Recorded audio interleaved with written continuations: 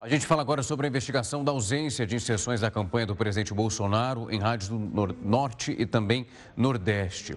O senador Eduardo Girão criticou a forma como o Tribunal Superior Eleitoral tratou desse assunto. Ao negar, via Alexandre de Moraes, o pedido então para investigar as denúncias de irregularidades. Ele pede o adiamento do segundo turno das eleições para que haja um compensamento. Vamos ouvir mesmo que todas essas inserções fossem autorizadas compensar agora, o dia só tem 24 horas.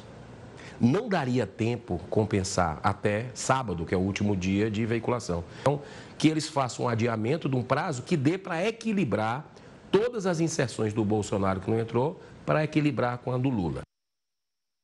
O deputado federal Diego Garcia segue pelo mesmo pensamento de Eduardo Girão, falando de uma interferência no processo eleitoral como simples publicações de perfis nas redes sociais e grupos de WhatsApp, foram removidos e investigados por interferirem no processo eleitoral, como 154 mil inserções a menos em rádios não poderiam interferir.